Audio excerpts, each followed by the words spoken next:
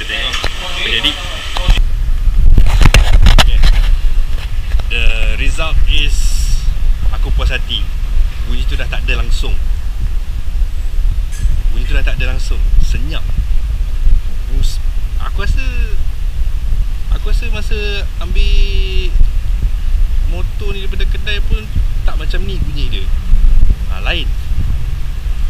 Tak silap aku lah bunyi dia memang lain. Bunyi dia lain gila masa aku baru ambil daripada kedai dulu. Bunyi lagi senyap.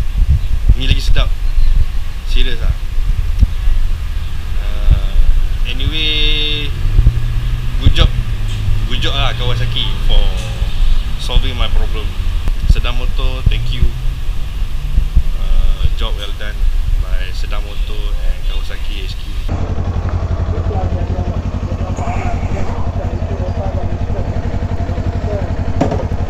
Nah, semak pula datang ni. Cabut pula. Ha, gasak. Eh bang, kenal lu? Uh,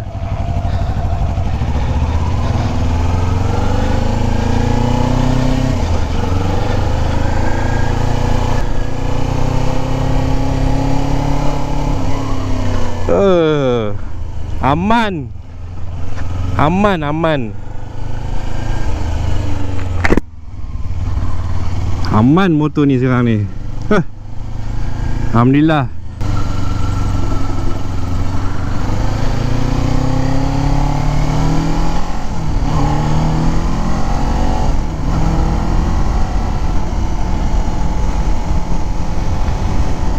Senyap, senyap Baru best. Huh. Lain, lain. Lain gila.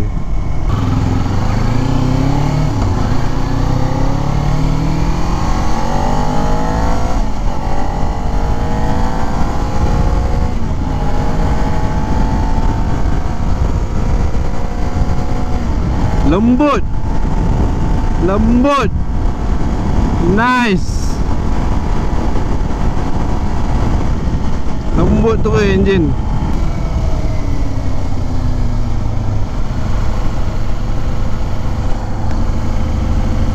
Ah lupa tu kaya Badan. Seminggu tak bawa motor ni.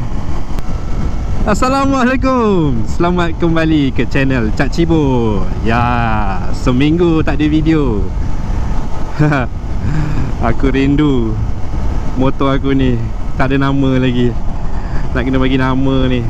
Seperti yang ah, Kalau korang boleh dengar Bunyi ketek-ketek-ketek tu dah tak ada. I'm so happy. So happy. Woo! Bunyi enjin motor aku dah senyap. Senyap gila. Happy gila lah. Hari ni aku ambil half day semata-mata nak ambil motor Sebab Aku dah tak larat bawa kereta pergi kerja Gila isak gam weh ah, Isak gam gila bawa kereta pergi kerja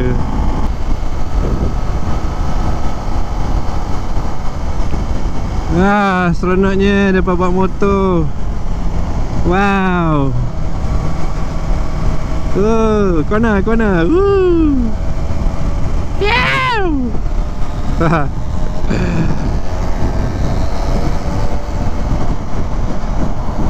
Okey, aku nak ceritalah apa yang jadi kat motor ni sebenarnya. Hari Jumaat aku bawa pergi sedang motor macam dalam video lepas. Dia cek cek cek cek tak boleh settle. Dia orang kata suruh bawa pergi Glamory Aku kena bawa sendirilah ceritanya Okay So on the way balik daripada sedang motor pula Something happen ha, Motor aku tiba-tiba semput. Semput yang hamat Yang Yang Yang menjangkal Menjangkau akal fikiran. Korang bayangkan Motor aku ni Wow. Gear satu pun tak larat nak naik bukit. Ha. Yang membuatkan aku lagi panas hati So aku bawa je lah pelan-pelan Boleh bawa Boleh bawa sebenarnya motor tu masa tu Tapi aku kena rev tinggi sikit Baru aku lepas clutch ha, Kalau tak memang Sangkut lah Memang tak boleh lah dia jadi macam bila kau nak try jalan naik motor dia kau pula full throttle pun dia jadi macam macam tu lah bunyi dia sebiji memang tak larat naik, naik bukit So esoknya hari Sabtu pagi Aku bawa balik pergi sedang motor. Bawa balik pergi sedang motor Dia orang check. Pun tak tahu apa masalah. Jadi bos sedang motor cakap Jangan bawa balik. Eh, Tinggal motor dekat kedai Dekat sedang motor. Tinggal motor dekat kedai Lepas tu dia contact uh, Kawasaki Glen Marie And then Kawasaki Marie Kata dia akan ambil kes aku ni. Dia akan hantar Kereta transport Untuk ambil motor aku Daripada sedang motor Pergi ke Marie lah Dekat HQ Okay. So aku tinggal motor orang check check check check. Seminggu lepas tu uh, Kawasaki Marie call aku. Dia orang kata Masalah semput uh, Masalah semput tu adalah sebab Throttle body punya Setting Lari. Sebab motor ni dia pakai Twin Throttle body. Salah satu daripada throttle body tu Dia punya uh, setting Setting butterfly dia kot. Aku rasa lah. Dia punya setting Dia punya setting butterfly lari So angin tak balance So that's why dia jadi semput. Okay. So that's fine lah. Itu memang problem yang aku tak expect lah. Tiba-tiba jadi. Ha, Tiba-tiba Tuhan nak tunjuk kan. And then aku tanya dia pula Masalah bunyi Masalah bunyi ketek-ketek tu pasal apa? Ha, Dia cakap ha, Aku tanya dia bunyi Sebab valve clearance ke?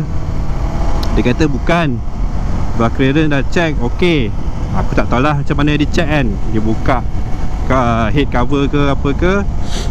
Dia kata Dia cuma adjust chain tensioner. So, Itu hari kat sedang motor pun Dia orang dah cuba adjust Chain tensioner.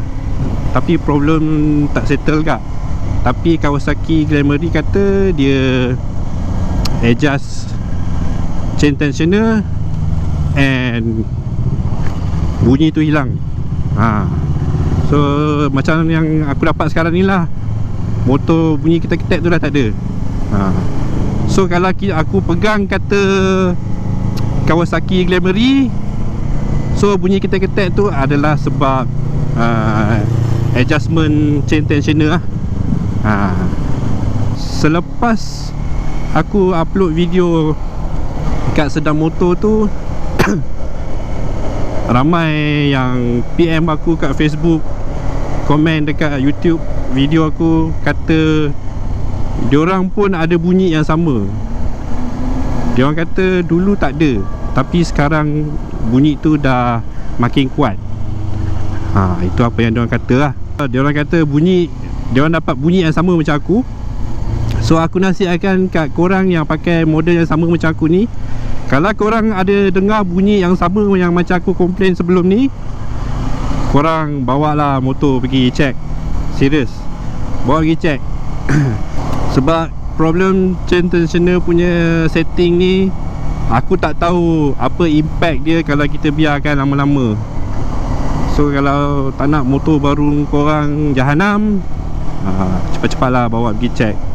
Dekat authorized service center eh.